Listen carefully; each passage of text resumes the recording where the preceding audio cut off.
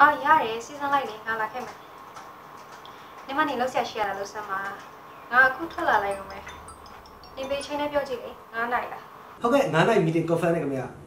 ကျွန်တော်တို့လာခဲ့ပါမယ်ငါခွဲလောက်တော့လောက်လိုက်ဟဲ့ဒီမှာအလုတ်ကကြိုးချောင်နဲ့အဆင်ပြေပါမလားတော့မသိဟုတ်အစီအပြေစီရပါမယ်ခင်ဗျာ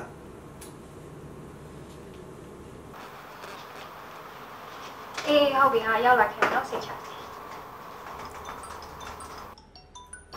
အေးငါလည်းအဲ့ဒါပြောမယ်သူ့ဘယ်ရောက်တော့ပါမလား ဟုတ်ပါတယ်ခင်ဗျာဟုတ်ပြောပါခင်ဗျာ อืมဟုတ်တယ်အဲ့ဒီတယောက်ကလေဘလို့မှအဆင်မပြေဘူးနော်သူ့ကောင်လေးအချိုးကတော်တော်အဆင်မပြေရဟဲ့ငါလုံးဝကြည့်မရအောင်တောင်းကုန်မကြုံ ဟေးတောင်မကျိုးတော့တော့မဟုတ်တော့ပါဘူးသူစကားပြောတာကအဲ့လိုဖြစ်နေလို့ပါอืมဝန်ထမ်းတက်မလို့ပါဟေးနည်းနည်းသိခံလိုက်ပါ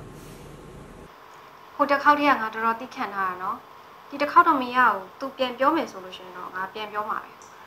အင်းကိုကစတော့ပြောရင်တော့ယူဖြစ်မှာပဲအကိုဖုန်းကိုလေဝီဝီလေးတော့ပြောပြီးလို့ရမှာဟုတ်ပြီခင်ဗျာဒီဒါလေးနော်အေး sorry နော်ဒီမှာစကားစားပြတ်သွားတယ်ငါတို့ပြောနေဘယ်နာရောက်သွားပြီလဲအေးဟုတ်တယ်ငါပြောသလိုပဲလေငါတော်တော်သိခံထားတဲ့ဟာကိုဒါပေမဲ့နေအဲ့ကောင်ကစောက်ချောမှမတည်တာဟုတ်တယ်အဲ့ဒီကောင်ကြောင့်ကျွန်တော်လည်းသိတယ် ဟိုတယောက်ကတော့ဝန်ထမ်းတက်မလို့ထားဗျာသူကတော့တီးပြီးသားကို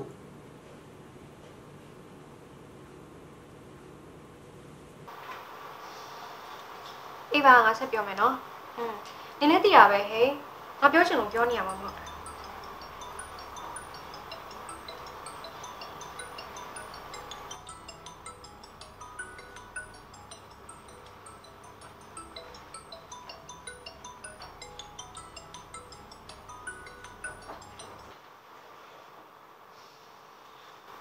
ရပြီနောက်ရှိက်ကင်းသွားရင်ငါတို့ easy ပြောလို့ရပြီ